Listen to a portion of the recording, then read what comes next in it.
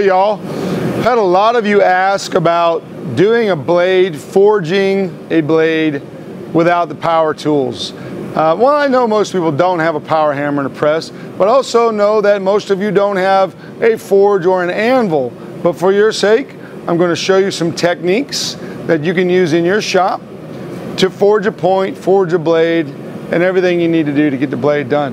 Um, I'm using a rounding hammer.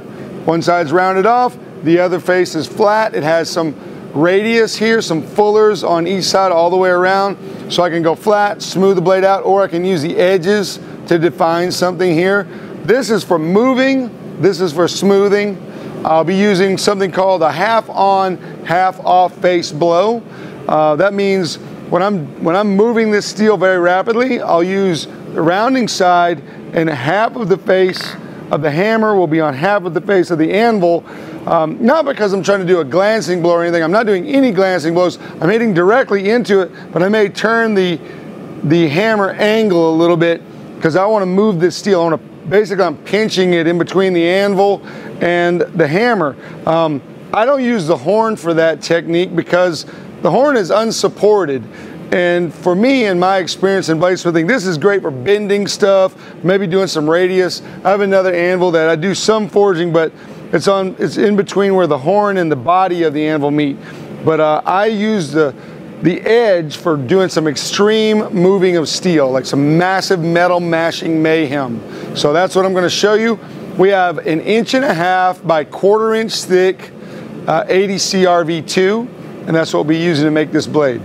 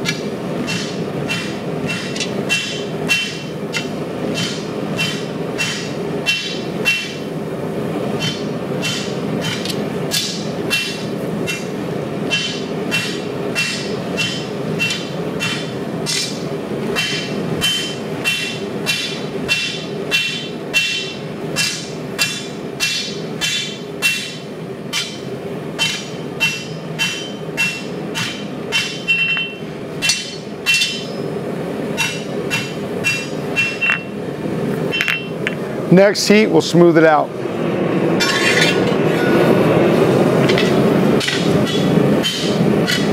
Sorry.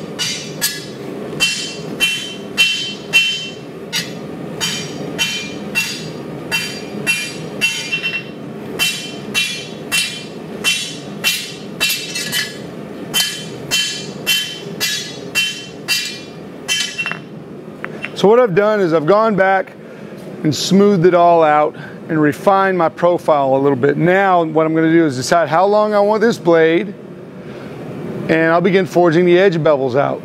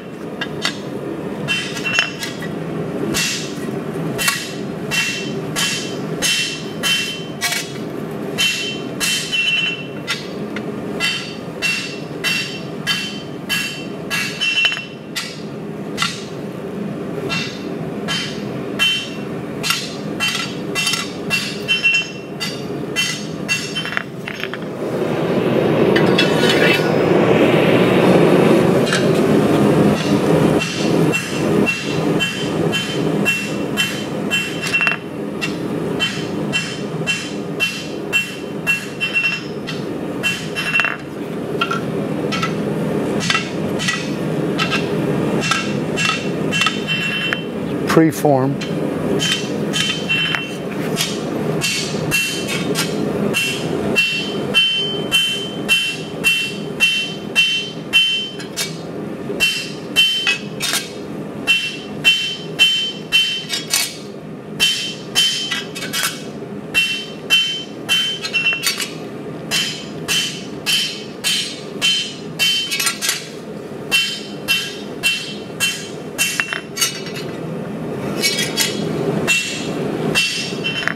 Go back everything is flat again. So I've got my preformed shape. Now I'm ready to start forging the edge.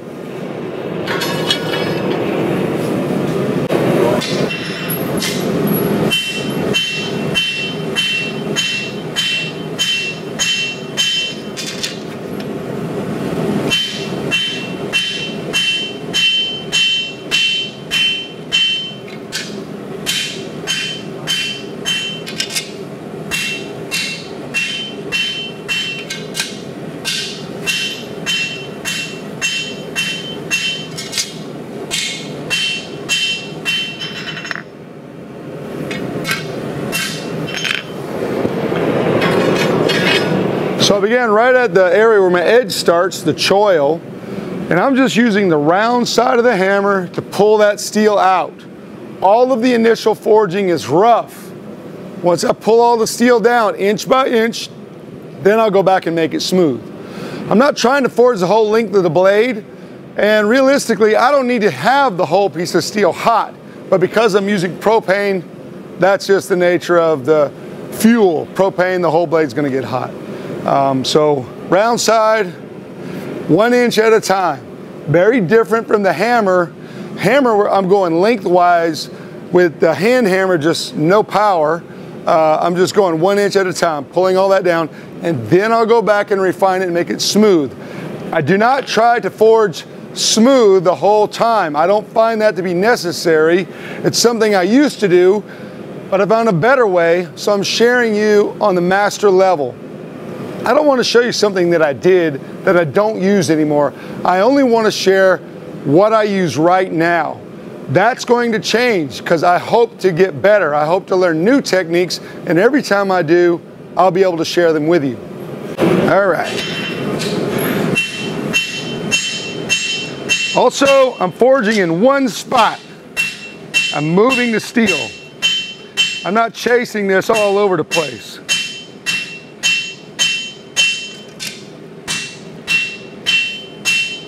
Now the, the steel's gonna move because I'm hammering on it, but I'm trying to just have it in one spot.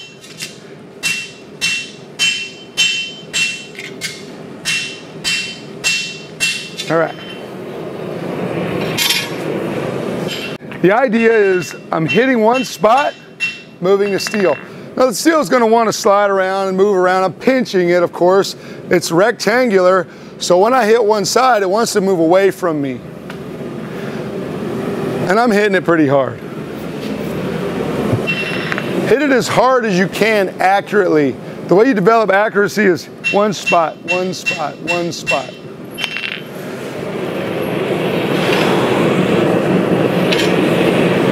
Ready?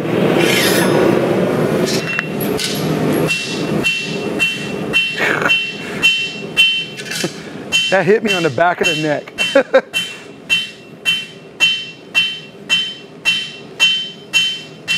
I'm moving it back and forth a little bit because I'm getting out here where the tip is.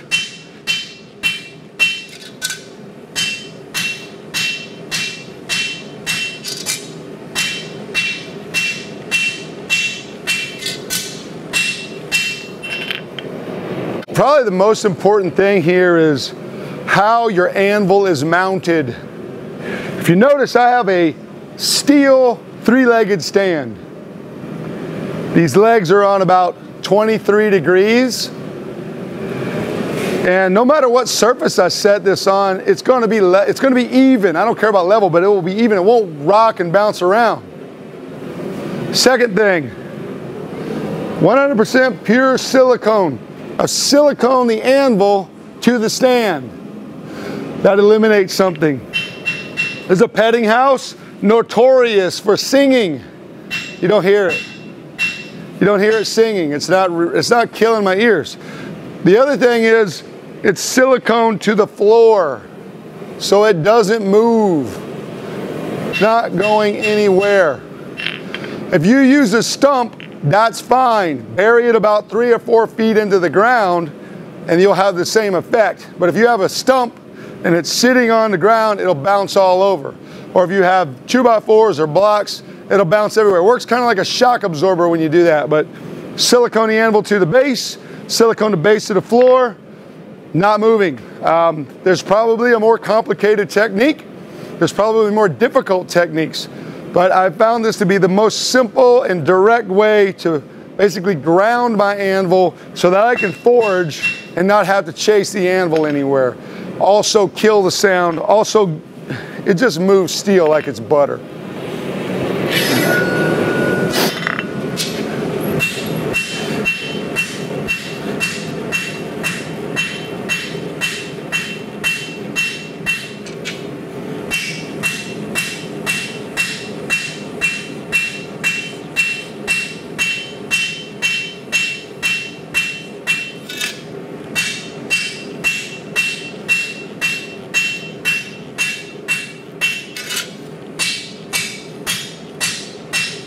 All right, next wave, if you look, you can see how thick the edge is. Now I'm gonna go back and work that piece. I'm working in the center at first, all the way down, bam, bam, bam, bam, bam, bam, both sides. Now I'm gonna go back, pull that edge down. During this process, you may find that your preform changes, like bends somewhere out of control. Get it back into shape. While it's still thick, you can get it back into shape. I always keep the anvil clean. Wear safety glasses. All right, now we're going back in. Edge.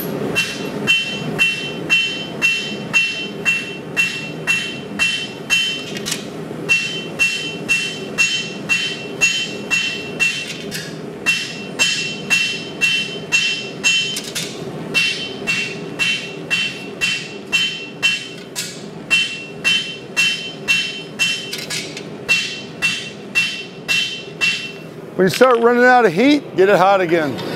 One of the neat things about the 80 CRV2 is um, you can forge it down to those dull red colors. Uh, you're not really moving steel when you get down there, so don't go too far. But when you start doing your finishing and your planishing, you can forge it into the black heats. That doesn't make it magic, that just makes it smooth, okay? But this steel responds well to that. Uh, has a fairly high vanadium content, makes it very tough, very wear resistant, and very fine grained.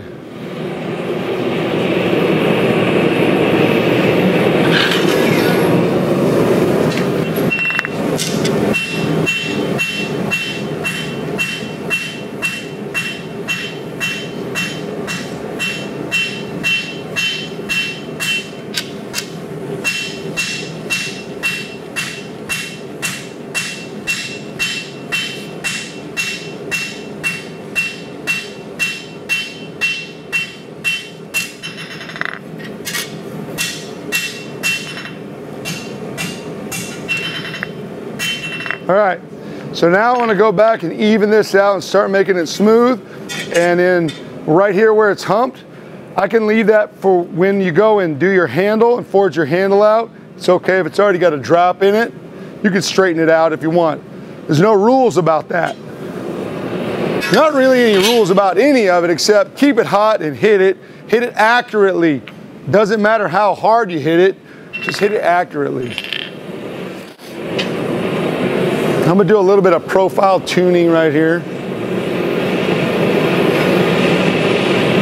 So if you make a missed blow, a misplaced blow, and you get a piece that sticks way out, and you can see how thin it is, don't try to forge it back in the steel. If it's too thin, you'll just get a fold over and a cold shut. Just grind it off. Just grind it off. This is forging. We're forging for effect. I use that a lot because I want to get a certain shape I want to forge to a certain shape. Um, one of my first knife making gigs was I did these knives for Sporting Classics, so I had to forge 150 knives. I didn't do them all at once. I did about five at a time. But I would forge them to get the shape and I wanted to fit my pattern. And sometimes they'd be a little bit bigger, but that was always better than a little bit smaller. So I would forge it and I'd nail it sometimes. And sometimes I'd make a misplaced blow, boom. So I'd have it too thin, but it's okay, you grind it off. Um, some people don't like what I just said. I don't care. Uh, when you are trying to get better and better and better at this, then you forge a lot.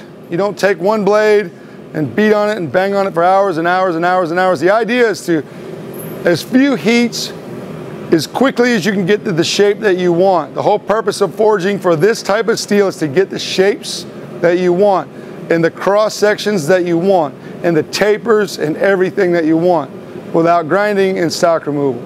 So that's where we're going.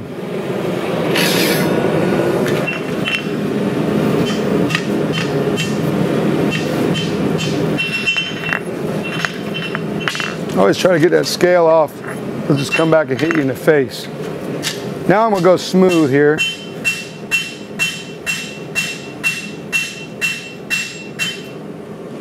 Got that one little piece, but that one.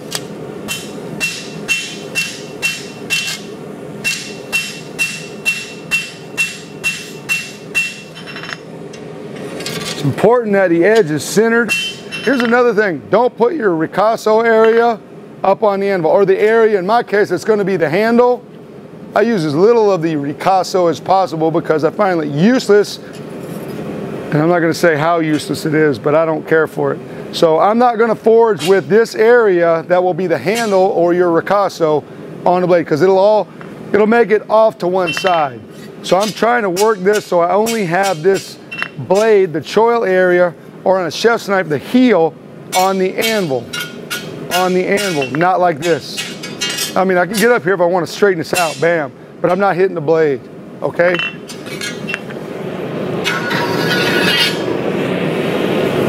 So right now, we're just gonna go back and smooth this knife out.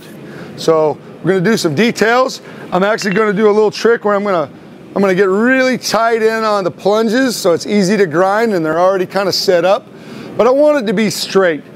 Uh, one thing you can help, and you've seen me do it in my other video, is using the vise, the leg vise, to straighten the blade, okay?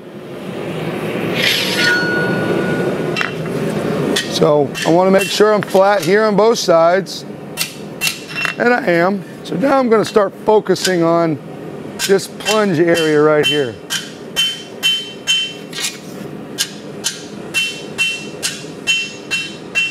See how I turn that? I'm straight into it, but I'm turning the blade. Nice and tight right there. All right.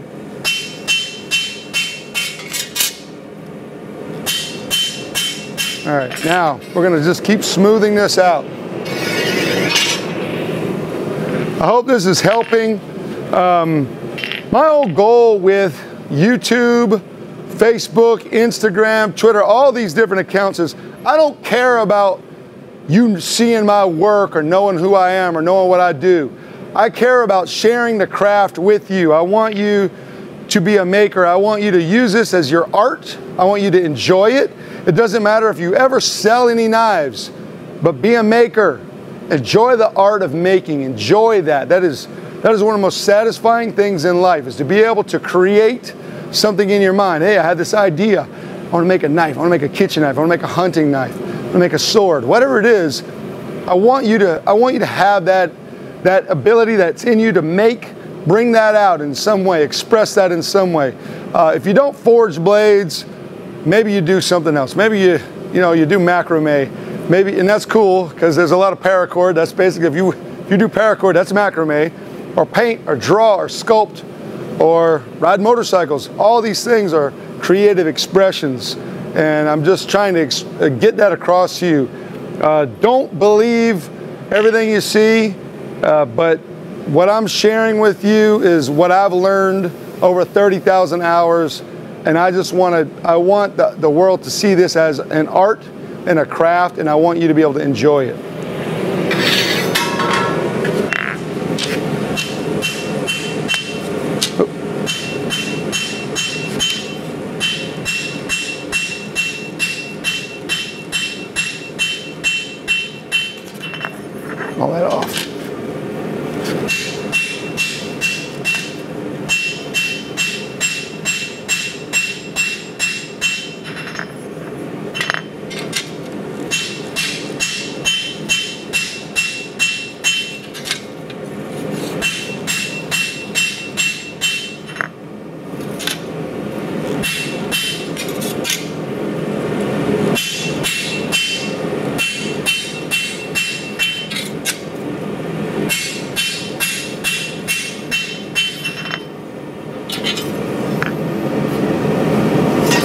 So we're getting really close.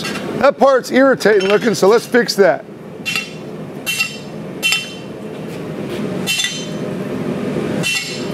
All right, a little more tuning up and we'll be done.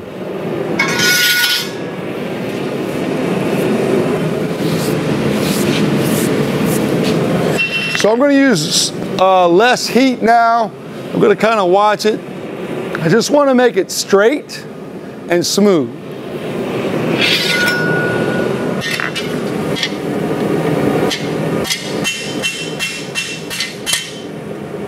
I'm, I'm looking for a flat. That's why I'm wiggling this around. And if I see a deep, a deep dent or something, I'm trying to, just want to planish it out. I really just want to make it as, as smooth as I can.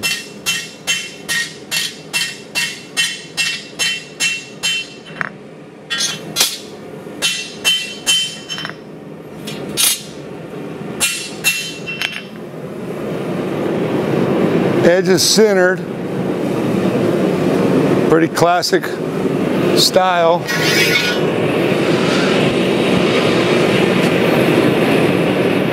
You can keep dinking with it as long as you want. I said dink, D-I-N-K. I don't know what that word really means, but I'm using it to express the idea of continue to fool around with something until maybe you did that too much. So don't do that just enough. So I would say when you get to the end, stop.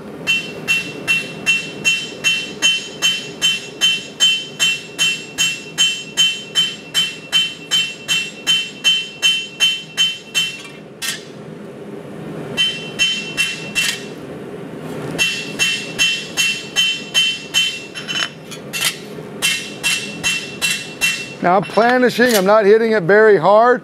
I just want to make it smooth. I want to get a nice even finish and I want to make it straight. There's uh, no magic in hitting steel at this temperature. The idea is just to get it smooth. I'm not, I'm not grain aligning or edge packing. None of that's happening. Only thing that's happening is smooth and centered. All right, so what you can do next cut your hand your handle off. You're gonna make a full tang or a hidden tang. That's totally up to you. And you'll figure out how much steel you need. In this case, this will be a full tang, so I'll cut it up at four and a half inches, flare it out a bit, and taper it. Very simple forging. I'm gonna leave that out of this video because you've seen me do it on the power hammer and you've seen me forge the blade. So use the same techniques, half on, half off face blows. Um, even if you don't use a rounding hammer, that's fine. You can use a cross peen or a straight peen. They work great also. Uh, the peen is for moving steel dynamically.